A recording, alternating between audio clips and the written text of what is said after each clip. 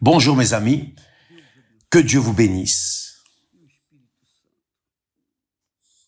Et le Saint-Esprit, seul le Saint-Esprit est capable, a le pouvoir d'illuminer notre compréhension pour comprendre, percevoir, assimiler, comprendre la parole de Dieu. Parce que Dieu est esprit. Et nous, humains, nous sommes également esprit, mais aussi chair, âme et chair. Dieu est esprit.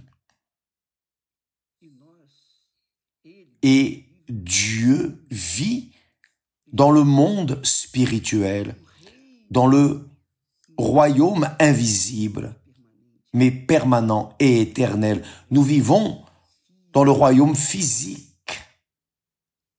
Et Dieu, dans son infinie grandeur et miséricorde, descend sur terre à l'endroit où le mal domine, l'esprit du mal domine les pensées des personnes. Et les aveugles dans la compréhension, aveugles, littéralement aveugles. Et seul le Saint-Esprit est capable d'illuminer pour que les personnes puissent voir les choses spirituelles, les choses de Dieu, du monde divin, du royaume des cieux, le royaume de Dieu. C'est ce que je prie, que le Saint-Esprit fasse cela maintenant, pendant que nous méditons qu'il vienne illuminer votre compréhension et qu'il mette les bons mots dans ma bouche, car il sait à quel point je suis fragile, faible, pour arriver au point de parler et prononcer et divulguer sa sainte parole. Je demande au nom du Seigneur Jésus qu'il vienne éclairer pour vous, mes amis, de telle manière que vous receviez le Saint-Esprit, là même où vous êtes. Je désire, le désir est si grand la volonté, la soif d'avoir l'Esprit de Dieu est si grande qu'il vienne vous visiter personnellement et faire de vous une nouvelle créature. Lui seul peut faire cela. C'est le Saint-Esprit, tout comme il est descendu sur Marie et a engendré en elle une nouvelle créature, un être céleste, qu'il descende sur vous et viennent engendrer en vous un être céleste. Cependant, nous devons comprendre sa parole. Nous devons chercher à voir ce qu'il veut de chacun de nous. Voyez bien, nous avons commencé hier à parler d'Ésaïe 53 qui donne la solution à n'importe, tout et n'importe quel problème. Problème physique, spirituel, sentimental, problème économique, tous les problèmes. Tous, tous, 100%. Il vous suffit de plonger dans ce chapitre et vous allez recevoir. Vous êtes malade, infirme. Ce chapitre garantit que vous avez déjà été guéri. Saviez-vous? Saviez-vous? Vous avez déjà été guéri. Par exemple, vous avez été maudit par quelqu'un, un être cher. Ce chapitre montre que cette malédiction lancée contre vous a déjà été enlevée dans le corps, par le corps de Jésus. Jésus a porté cette malédiction. Il a porté nos malédictions. S'il a chargé nos péchés, nos malédictions, nos maladies, nos infirmités, nos vies misérables, alors nous devons vivre une vie abondante comme il le promet. Je suis venu afin que les brebis aient la vie et qu'elle est en abondance. C'est sa promesse pour chaque personne qui croit en lui. Là est la question. Voyez bien, le texte commence. Qui a cru à ce qui nous était annoncé. Qui a cru à ce qui était annoncé? Qui a cru à la prédication de la parole de Dieu? Qui a reconnu le bras de l'Éternel? Donc, dans ce monde d'incrédulité, dans ce monde perdu, malheureusement, peu sont ceux qui croient. Peu sont ceux qui croient. C'est pour cela que peu reçoivent l'accomplissement de la promesse de Dieu, des promesses de Dieu. Qui a cru quand la personne donne du crédit, croit dans la parole de Dieu, alors le Saint-Esprit vient et fait l'œuvre qui a reconnu le bras de l'Éternel? Donc, ici, dans ce premier verset, nous voyons que Dieu, Dieu, appelle tous, mais peu sont choisis. Il y a ceux qui ont été choisis et sont sauvés, vont bien, mais il y a ceux qui ont déjà été choisis, mais qui ne se font pas encore choisis. Ils sont encore en train d'errer, mais ont déjà été choisis. Et ce sont pour cela que nous travaillons, pour que ceux qui ont été choisis, mais ne se sont pas rendus compte que Dieu les a déjà choisis, alors que la parole vienne s'emboîter avec leurs besoins. Ce sont pour ces personnes que nous prions, pour ceux qui n'ont pas écouté, qui ne croient pas, pour ceux qui définitivement disent non, je ne veux pas, je ne veux pas, on ne peut rien faire. Mais il y a ceux, il y a ceux qui ont déjà été choisis, mais vivent encore là, un petit bout de l'enfer de ce monde. Donc, la parole de Dieu va les ramener de retour à Dieu. Voyez bien,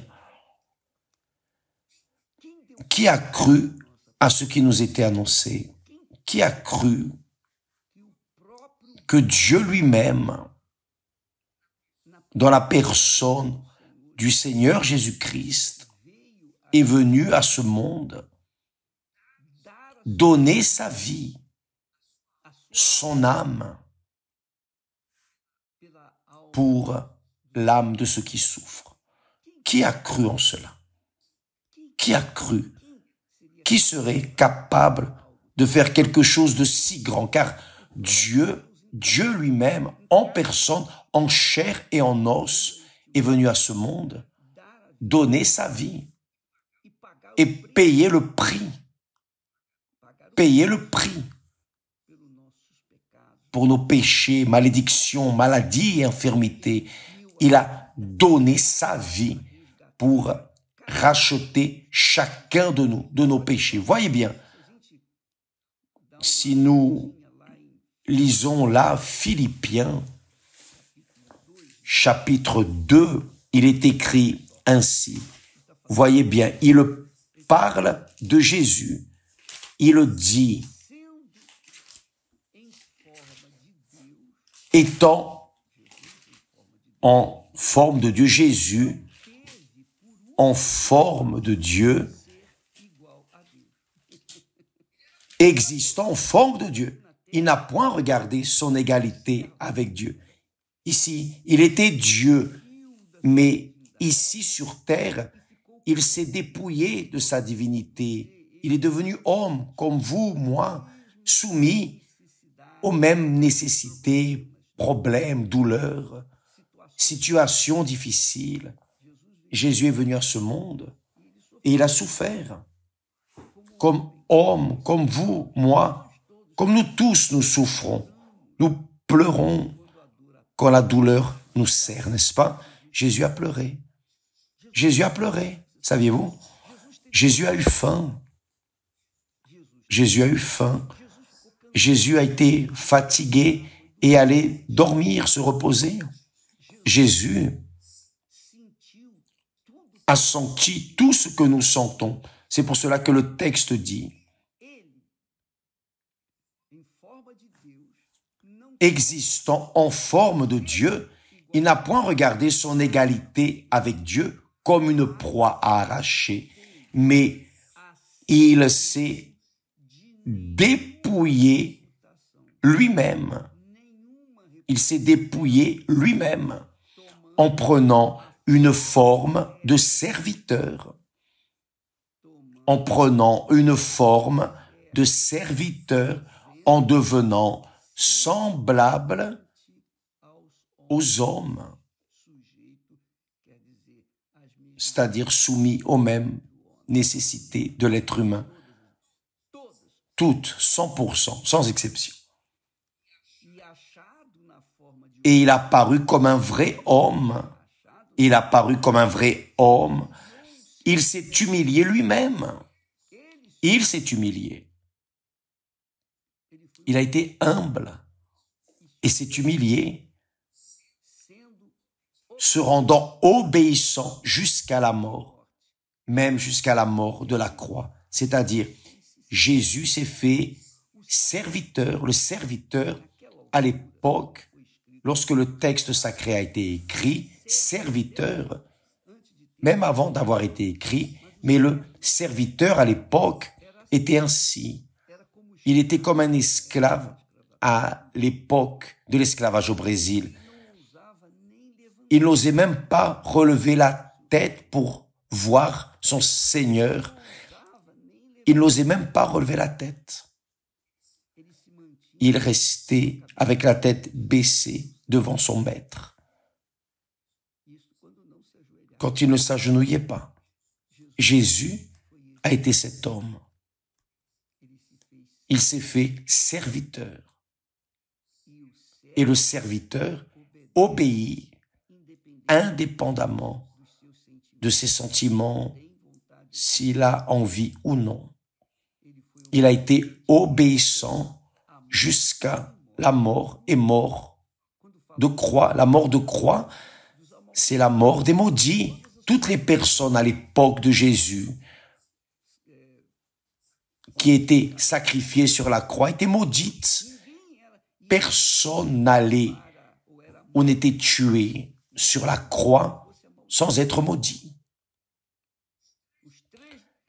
Les trois ou les deux voleurs qui ont été aussi crucifiés avec Jésus, ils étaient en train d'être maudits.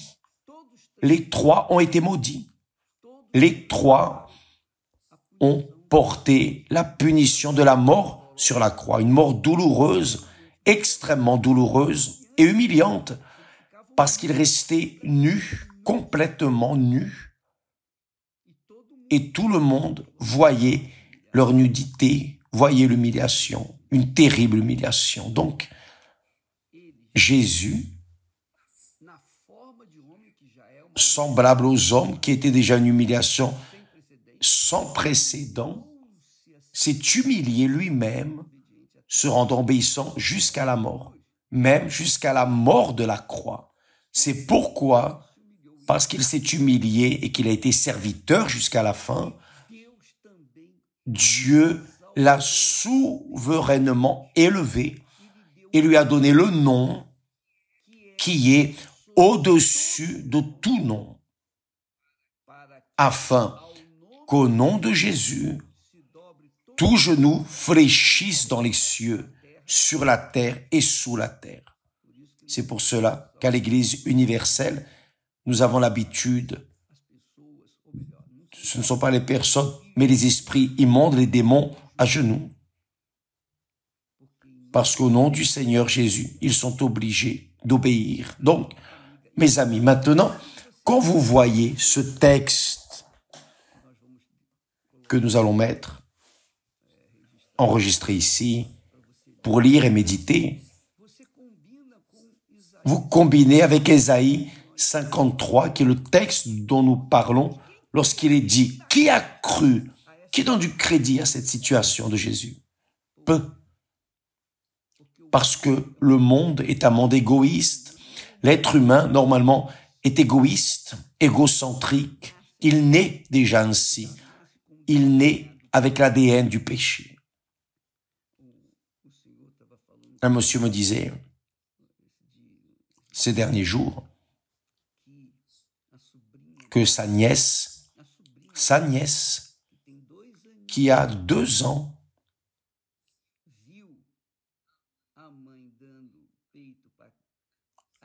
a vu sa mère donner le sein à sa petite sœur et elle a été jalouse de sa sœur. Et elle pleurait, elle ne voulait pas que la mère donne le sein à sa petite sœur. Qui a appris cet enfant de deux ans pur, pur, pur Qui lui a appris la jalousie C'est le péché. L'être humain né déjà dans le péché. Jésus alors est venu dans ce monde payer le prix de nos péchés, de nos corruptions, de tout ce qui est sale et que nous portons. Malédiction. Vous avez été maudit, maudite. Jésus a déjà porté votre malédiction.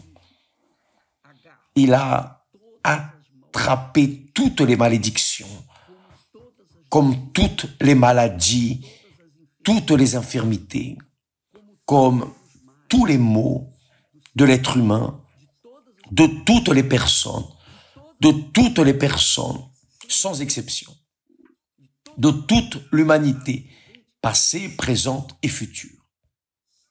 Sauf que ce qu'il a fait, toute l'humiliation, toute la honte, douleur dont il a souffert, il a attrapé dans son corps ne sert qu'à ceux qui croient. S'il n'y a pas de croyance en lui, alors il n'y a pas de bénéfice. C'est la même chose. Vous allez chez le médecin et le médecin vous donne une ordonnance. Si vous croyez, vous achetez les médicaments et vous les achetez et vous respectez l'ordonnance. Si vous ne croyez pas, vous jetez l'ordonnance. C'est-à-dire, le médecin a fait son ordonnance, mais vous n'avez pas fait la vôtre, vous n'avez pas cru en lui. Comment pourra-t-il vous aider?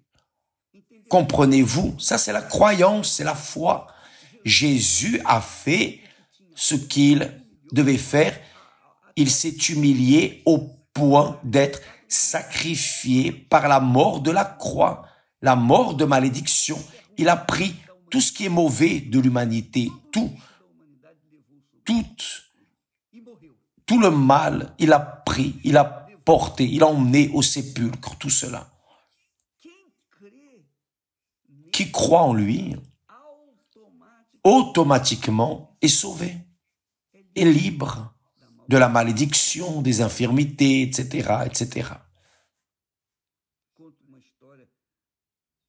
Il y a une histoire qui parle d'une jeune de moins de 30 ans qui a contracté une maladie qui à l'époque était incurable. Il n'y avait pas de solution. Elle était depuis longtemps au lit, peau et os, sur le point de mourir. Un jour, elle a pris la Bible et a ouvert précisément ce texte d'Ésaïe 53 et elle a lu. Lorsqu'elle a lu, lorsqu'elle a lu que Jésus avait porté les maladies, les infirmités, nos maladies et infirmités, elle, elle a sursauté, elle a dit, et s'il a porté les maladies, il a porté ma maladie, alors, cette maladie est un mensonge, une tromperie. Non, je n'accepte pas cette maladie. Elle-même, devant la croyance ferme dans la parole de Dieu, elle a été guérie. Elle a été guérie, littéralement guérie. C'est-à-dire, la parole elle-même a le pouvoir de délivrer, guérir, transformer la vie des personnes. Sauf que les personnes doivent croire. Elles ne peuvent pas seulement accepter.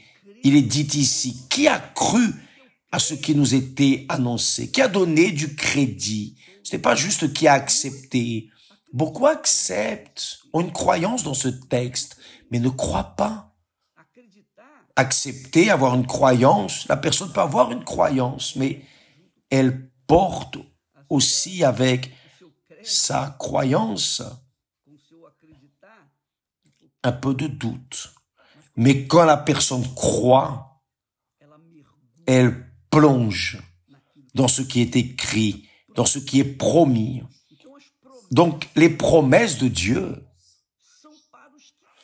sont pour ceux qui croient à 100%. Donc si vous croyez maintenant, vous recevez maintenant ce dont vous avez besoin. Ce dont vous avez besoin. Faites attention. Ce dont vous avez besoin, vous le recevez maintenant. Par exemple, vous êtes malade, vous croyez, maintenant vous êtes guéri sans avoir besoin de prière, sans avoir besoin que je prie pour vous. Il vous suffit de croire là où vous êtes. Peu importe où vous êtes, ou votre religion, votre doctrine, si vous croyez dans la parole de Dieu, vous croyez en Dieu. Et cette parole se matérialise dans votre corps maintenant. C'est comme le jeune homme qui a dit, Seigneur, pense avec moi. Voyez sa prière, Nilsson, pense avec moi, Seigneur. C'est juste que je puisse parler de toi aux personnes sans te connaître Comment vais-je parler aux autres de quelqu'un que je ne connais pas? Donc, tu dois me révéler, tu dois me présenter, me donner ton esprit pour que je puisse te connaître et rendre témoignage de toi, sinon je n'ai pas de condition. Et dans cette prière si sincère, pure, à l'instant, il a été baptisé du Saint-Esprit. Il n'était pas à l'église, il n'était pas sur l'autel, non. Il était là au travail. D'ailleurs, aujourd'hui, je vais poster à 18 heures à l'heure du Brésil son témoignage pour que vous voyez. C'est-à-dire, il a cru. Et comme il a cru, il a parlé. Et comme il a parlé, il a été entendu a reçu le Saint-Esprit. Il y a des personnes qui prient, qui clament, font le jeûne de Daniel et le jeûne de nourriture, etc. et n'ont pas encore reçu le Saint-Esprit. Pourquoi? Parce qu'ils n'ont pas cru à 100%. Ils ont une croyance, acceptent, mais ne croient pas. Mes amis, lorsque nous parlons lorsque nous, avons parlé hier en relation à ce que Jésus a dit. D'ailleurs, ce qui est écrit ici, que Jésus n'a point ouvert la bouche. Il n'a point ouvert la bouche. Il n'a point ouvert la bouche. Même étant rendu malade, il a été opprimé, il a été châtié. Même ainsi, il n'a point ouvert la bouche. Il n'a point ouvert la bouche. C'est-à-dire, je suis en train de souffrir parce que je viens accomplir une mission. Je viens souffrir, mourir pour ceux qui qui croiront en moi. Donc, je n'ai pas à me plaindre, à me lamenter. Je n'ai pas à pleurer. Je n'ai pas à dire aïe. Non, je suis venu là pour cette mission. Donc, ce n'est pas votre mission de souffrir, de gémir.